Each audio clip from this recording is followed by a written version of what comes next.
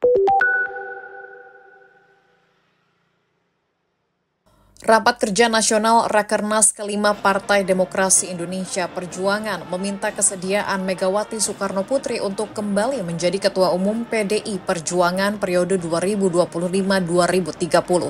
Hal ini disampaikan oleh Ketua DPP PDI Perjuangan Puan Maharani saat membacakan sikap politik sebagai hasil rekomendasi eksternal Rakernas kelima PDI Perjuangan di Ancol, Jakarta Utara Minggu 26 Mei.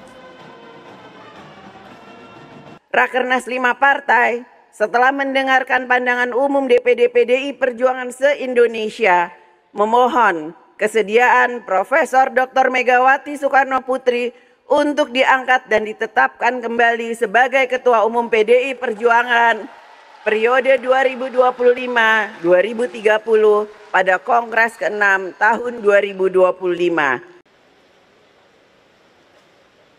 Pernyataan ini menepis kelakar yang sempat dilontarkan Megawati untuk saling berganti posisi.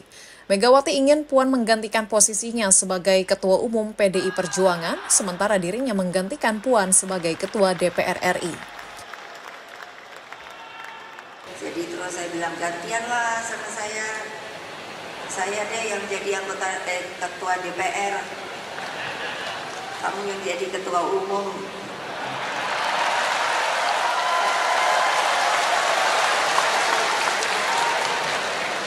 Enak-enak aja. Masa saya yang disuruh nongkrong di sini terus keadaannya gonjang ganjing nggak jelas. Diketahui PDI Perjuangan menggelar Rakernas kelima dengan tema Satyam Eva Jayate, kebenaran pasti menang sejak Jumat 24 Mei. Dan pada hari terakhir, mengeluarkan 17 butir rekomendasi eksternal terkait sikap politik partai, program kerakyatan, serta strategi pemenangan Pilkada 2024. Dari Jakarta, Muhammad Harel, Irfan Syah Nasution, Kantor Berita Antara, mewartakan.